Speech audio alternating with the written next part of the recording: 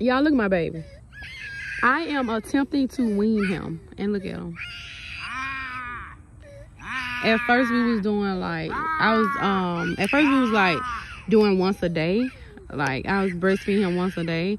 But the past few days plus I haven't been breastfeeding him at all. So once a day have now turned into zero times a day and he's losing his mind. So I might have to latch him on. I don't know. I might have to just let them on. Y'all, this is like, oh my God. This is a toddler that is weaning off the boob. He don't want to wean.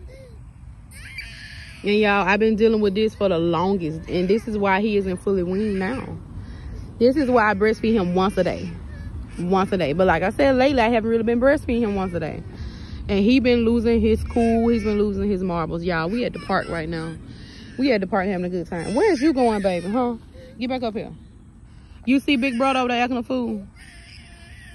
This is what happens when you try to wean a toddler a two-year-old. Like breastfeeding you once a day it's, it's just it's just too much. Y'all when i get home i'm gonna do the apple cider vinegar trick and the hot sauce trick.